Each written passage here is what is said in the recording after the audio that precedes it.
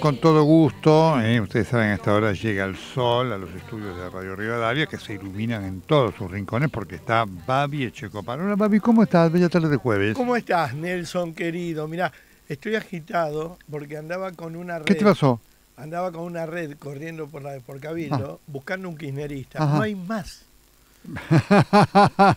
Vos sabés que hay dos cosas. ¿Vos te acordás la mariposa, el limonero, ese grande amarillo? Sí, claro, claro, que nunca claro. nos dejaba que lo agarremos, Sí. volaba muy alto. Bueno, Sí, eso, así los es. kirchneristas están en extinción. Mira. Vos sabés que cada vez que hablas con alguno decía, pero vos eras kirchnerista. No, yo era socialista. Era kirchnerista, no Sí, era claro. No hay más. Progresista, progresista. progresi- No hay más, Nelson, no hay más. Ayer la señora fue a declarar y había unos 40 o Sí, 50 sí, que no aprovechamos claro. para tirar la red ahí. No hay más, Nelson. Se extinguieron los kirchneristas. Qué bárbaro, qué lábiles que eran. Y es muy fuerte todo esto, es muy fuerte todo esto, ¿no? No sé, Eh, esto, esto agobia, Nelson, es, es muy feo. es Sí, muy feo. sí, sí, sí, sí. Mira que uno No, no, que no es. Porque además, Te escucho. No, además todo ahora, viste ahora con esto, en esta conversación de Cristina Fernández de Kirchner con Alberto Fernández ahí cuando le fue a reprochar, claramente demuestra que Cristina sabía al dedillo lo que estaba pasando con las mujeres, lo que pasaba en Olivo, Pero no sabía el dedillo. Pero todo, mira, olvídate, Nelson. A mí cuando ya de estúpido no quiero que me tomen. Que lo hagan igual, pero de estúpido no me toman más. Sí, sí. Esta es una cofradía para quedarse con toda la plata de la Argentina y, y mentirnos y todo. Un prostíbulo, un prostíbulo político asqueroso. Pero, que- Mm, a ver, si Cristina no sabía lo que hacía Alberto, no puede ser la jefa del, del- del- del movimiento. Por supuesto, por supuesto, por supuesto. por Eh, supuesto, ¿no? mira, pero eh, en, en notable, mira vos, no lo habíamos hablado el tema, pero fíjate vos qué coincidencia con lo que vos decís, lo que está diciendo Ignacio Ortelli eh, hoy más temprano en el pase, es decir, porque hay cosas para reflexionar. En el 2011 la votó el 54% de la gente Claro. a Cristina y en el 2019 el 49, el 50%, eh, para que nos demos cuenta, ¿no? Bueno, a mí lo único, te juro, mira, te juro por Dios, lo único que yo lamento, los 20 años, recién me acordaba, Sí, perdido, recién me- perdido. vos sabés que a mí las feminazis estas de merda me llevaron a hacer una probation, como un delincuente. Sí, me acuerdo. Me, acuerdo, qué procesaron, tremendo, qué Nelson, por algo que yo no tenía Sí, sí, me acuerdo, me acuerdo. Te inventaban causas, te llevaban a tribunales todos los días. Mirá cómo será que en una semana dos veces vi al mismo fiscal, que era uno pelado, Mirá, y Mirá. que, que me dio la probation como un favor, que me hacía, te voy a dar una probation para que no te qué condenen. barbaridad. Y digo, Sí, pero ¿qué es esto? sí. ¿Dónde estoy? A ver, nunca me pasó en 40 años de carrera. ¿Qué es esto? Te de hacían con- sentir de un delincuente, efectivamente. Pero sí, pero sí. Y uno no se sublevó. Eso lo, mira, lo que más lamento, Nelson, y, me, y no me perdono, no haberme sublevado, Mm. porque, por- y no sabía cómo, ¿no? Tampoco, pero, pero nos hicieron la vida tampoco. imposible, ¿no? Babi, pero lo importante, ¿sabes qué?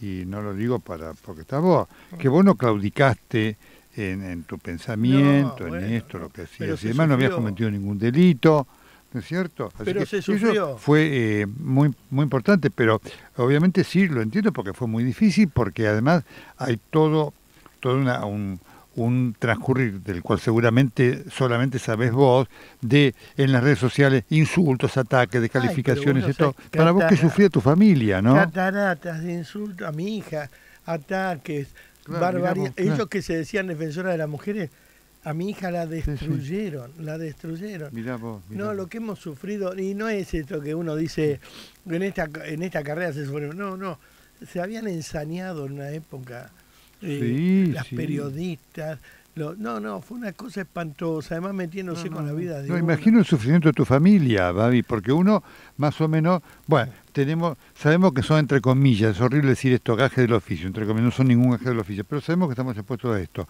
Pero para tu- las no familias, para tu familia, debe haber sido muy duro. Y no viste que siempre hay un amigo, un familiar que dice, che, esto que salió de vos, ¿verdad? Sí, eso lo ven, cuando te- Correcto, te correcto, premian no. correcto. Pero realmente, yo iba al supermercado, Nelson, con vergüenza, porque me habían Sí, puesto sí, en el cartel de misógino, nazi, fascista, y una Oh, mujer me saludaba del sí. supermercado y yo bajaba la vista porque iba a ver si cree que la que le quiero pegar. no Sí, sé, que estoy insinuando alguna cosa, sí, sí, te entiendo. te, te- te ponían la estrella amarilla en la puerta.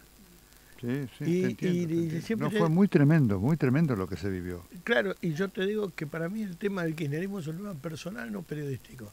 Yo voy a hacer todo lo posible para destruirlos porque hacen daño. Hacen daño. Yo quiero yo que coincido, gente mala, son una desgracia para la Argentina, son una desgracia. no, no, a vos y a mí nos comieron 20 años de nuestra vida. Pero por, por supuesto, pero además 20 años en los cuales, como yo le decía vez en kirchnerismo, mira, si hubieran hecho las cosas bien, se quedaban 40. Obvio. Hubieran hecho las cosas bien, se quedaban 40 con libertad. Si hubieran hecho las cosas bien, se quedaban 40. Tremendo. tremendo. Hicieron todo, todo, todo mal. Porque no nos contaban lo que hacían.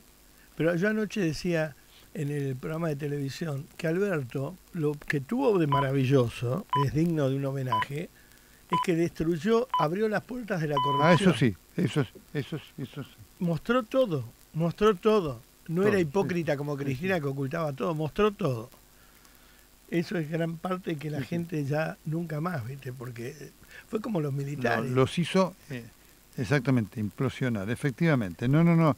eh, se ha caído un velo y por eso que, y esto al- algunos kirchneristas conozco, eh, vamos a ponerle moderados, ¿no es cierto? Sí.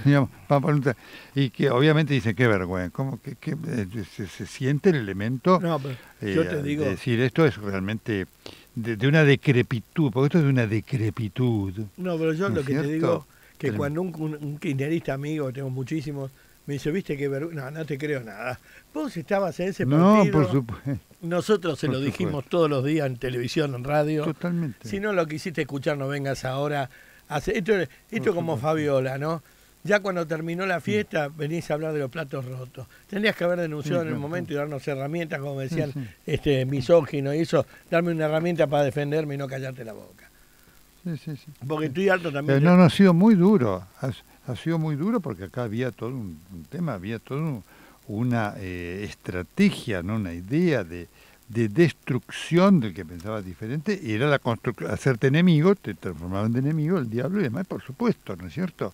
Vos con el adversario digamos, convivís, porque en- no en el partido de fútbol, esto acá aquello, le gané, después convivís. Con el enemigo no, el enemigo es un concepto Pero- que te lleva a la anulación del enemigo, ¿no tanto vo- vos, vos como yo somos amigos de cantidad de peronistas y de kirchneristas. Pero por que Es un placer supuesto. hablar con ellos. Pero estos pibes eran fundamentalistas. Eran No, te rompo sí. el auto, te prendo fuego el teatro. te- loquitos. Sí, sí, sí, sí, sí, Loquitos. sí, sí, habían entrado en esa locura que había estimulado el, eh, La el loca. esta. kirchnerismo, Por vos no ¿no es dijiste, cierto? digo yo. Está chiflada, ¿viste? Le metí No, podrido. no, no, no, lo de, lo, sí, sí, sí, aquel- aquellas cosas de las cadenas nacionales Oh. donde yo el- el- siempre me acuerdo el tema de la, del abuelo ese pobre, porque nosotros por lo menos podíamos decir ABC, el abuelo, ¿te acordás cuando De lo atacó en la cadena nacional? Que el de pobre hombre no pudo decir nada, tremendo. ¿Te acordás cuando fueron a Angola? Sí, papá, no me digas. a no, cambiar dólares por de la salada, mami. Vos sabés una cosa, los hermanos, ya te voy a decir, tenían un matadero, este, tenían tres mataderos, tres frigoríficos. Sí. Y Moreno, ellos tenían una deuda con los frigoríficos. Y Moreno le dijo, si no vienen a Angola conmigo, este, se rematan Mm. los tres frigoríficos. Por supuesto. Por Porque los quería comprar Samid. Porque era yo te lo claro, remato, claro, claro. yo te lo remato y Samid los compra, ¿entendés? No, No, eran un, eh, No, no, no. hubo un agujero que no metan la mano, no hubo un agujero que no haya... No, es una porquería. totalmente. Bueno, totalmente. Sí, recuerdos del cual, pasado. tal cual. Del pasado para tenerlos presentes, ¿eh? para no olvidar, ¿eh? para no olvidar. ¿eh? Mira, yo te digo, Nelson, no sé cómo nos irá, pero por peor que nos vaya, nunca nos va a ir tan mal como nos fue con ellos. Fue, fue tremendo, lo que se vivió fue tremendo realmente. ¿no? Uno, Bueno, eh, cu- cuando lo- empezás a recordar detalles es tremendo. Bueno, qué alegría de compartir esto en este hermosísimo día, así que ya viene la primaverita, ¿eh?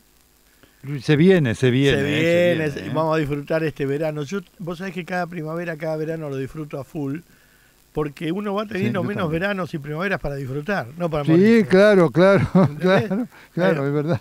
Para, Sí, sí, para sí. disfrutar. Yo ya, a mí me gusta navegar. Yo calculo que tres, cuatro Qué primaveras lindo, me tienen que subir con una grúa al barco, ¿viste? enganchado como una vaca. Así que mientras Qué tenga las piernas para saltar desde el peine al mal, desde Sí. el muelle al, al barco, Ah. feliz. Lo vas a aprovechar. Me parece fantástico, querido. Te quiero ¿Mm? mucho, Nelson. Te mando un abrazo enorme. Igualmente yo, gran programa como siempre, con vos y todo tu equipo. Sigan con Gracias, Babi querido, en Rivadavia. Chau. Chau. Chau. Chau. En cada ciudad. En cada rincón del país.